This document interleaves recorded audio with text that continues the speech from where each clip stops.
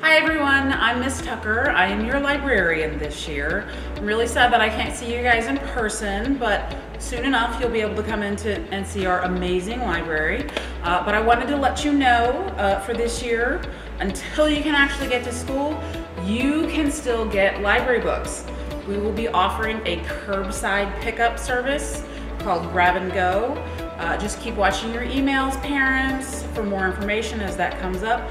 Also, uh, if you have any books from your old school that are still hanging around your house after all this time, you can turn that in. We will be having our lovely drop box here on the curb for the first two weeks of virtual and you can uh, bring your library books back and turn those in anytime and I will get them to where they need to go.